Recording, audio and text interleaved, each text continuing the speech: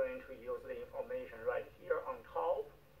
Uh, combustion analysis of naphthalene, a hydrocarbon. Hydrocarbon means it only contains hydrogen and carbon. You can look at those choices. All right, just carbon, hydrogen, carbon, hydrogen. So that's why we call that hydrocarbon. Found in night balls produced 8.8 grams of CO2 and 1.44 grams of water okay, then use those information to answer uh, the next two questions, which means question number four and question number five. Number four, what is the empirical formula for this compound? So we have to do uh, the similar calculations like we just did uh, with uh, question number three. All right, we need to find out the number of moles of carbon from CO2 and hydrogen from H2O. All right? So that's what we are going to do. Um, first, let's find out the carbon one. So what we have here, we start with, uh, you always start with what you know. You know 8.8 grams of CO2, we start from there, 8.8 grams CO2. We are converting from grams of CO2 to moles of CO2 using the molar mass, which should be 44.01 grams. And now we have to convert from moles of CO2 to moles of carbon. As you can see, one mole of CO2 contains one mole of carbon, or in other words, one CO2 molecule contains only one carbon. So therefore, the mole ratio should be 1 to 1. And uh, now, it should yield 0.2 moles of carbon. So we'll carry out similar calculations to find out the moles of hydrogen using the information given related with water. 1.44 grams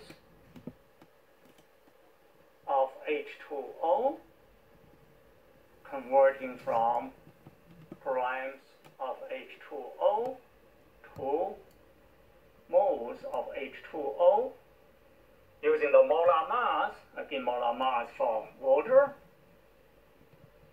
from periodic table, you should be able to obtain 18.02, which means two hydrogen and one oxygen. All right, so uh, and you see doing this way, the grams of water and grams of water can be cancelled. All right, just like in the previous calculation, grams of CO2, grams of CO2 can be cancelled. All right, okay. The next one, we need to convert from moles of H2O, converting from, put that on bottom, to moles of hydrogen, hydrogen atoms, H not hydrogen molecule, not H2, okay, just H. Okay, now you see every one mole of H2O gives us two moles of H, 1 over 2. Or in other words, in every one H2O molecule, it should contain two hydrogen atoms. So, okay? And now you can see moles of H2O, moles of H2O are cancelled. The final answer, the unit for the final answer is moles of hydrogen. Just like in the previous calculation, moles of CO2, moles of CO2, they are gone. Therefore, the final unit, the unit for the final answer should be just moles of carbon, moles of carbon. And here, same thing, moles of hydrogen. And what is that value? That's 0.16. Okay? So now what do need to do? We need to divide all of those number of moles by the smallest amount, which is 0.16. All right? Let's do that. For carbon, we have 0.2 divided by 0.16 and that gives me 1.25. That's for carbon. And then for hydrogen, of course, divided by itself, it should be 1, all right? I will write that down anyway. So that should be 1 hydrogen. Okay. So you can consider this as a mole ratio or maybe number of uh, atoms ratio, doesn't matter.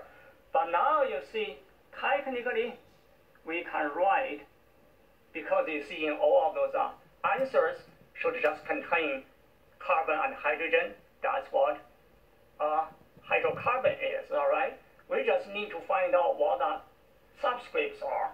In this case, technically we can write 1.25, then H is 1, I don't write it. That, of course, this will not be allowed. Why? Because the subscript has to be a whole number, all right? And the ratio of the subscripts, they have to be a whole number ratio, all right? So, uh, a smallest whole number ratio, actually. So now, what do we do? Okay, we have to try to convert this non-whole number to a whole number, all right? So which means, okay, 1.25, if I time 4, that would give me 5. 1.25 times 4, that should give me 5. Alright? So therefore, I want to multiply those uh, ratios by a factor of 5. Okay, I'll just simply do this. 5 times 1.25, that equals 4. Uh, no.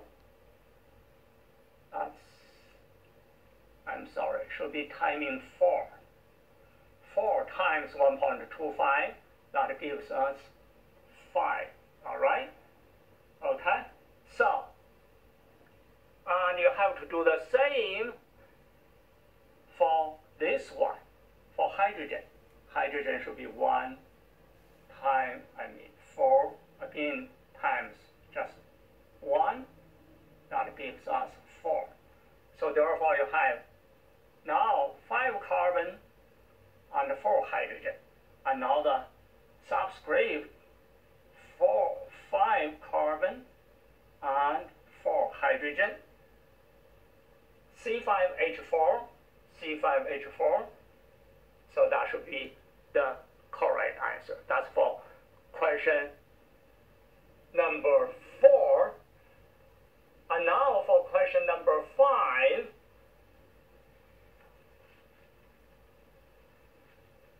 Okay, question number 5. We already found out the empirical formula, which is this one. And we just need to find out the uh, molecular formula, and we know the molar mass. In order to do so, we have to find the multiples n. We have to find out what n is. n can be calculated by using the molar mass of the molecular formula, which is 128.2, divided by the molar mass of the empirical formula. So H4, C4H5, okay? And if you use the periodic table, each carbon is 12, 4 times 12, so that's uh, 48, and then plus uh, 5 uh, hydrogen. Each hydrogen should be just 1, maybe over 1, but I would say this is about 64 point five, six, okay? And now, that should give you an about two, okay? So here you can do a little bit of approximation because it has to be a whole number, okay? So, and then we already know the empirical formula is a C4. Oh, I think, didn't we made a mistake there? Should be C5H4. C5H4. I apologize. It's not this one, it's a C5H4. Alright? Okay? So it should be C5H4. And now C5H4. Everything times by 2 and that should be C10H8. Alright? C10H8, which is uh, this is the correct answer. Okay? Sorry about the uh, number 4, that should be E. C5H4 because we here you see we have 5 carbon. 5 carbon. I just marked that? So that's for question number 4 and this one is for question number 5. That's the molecular formula.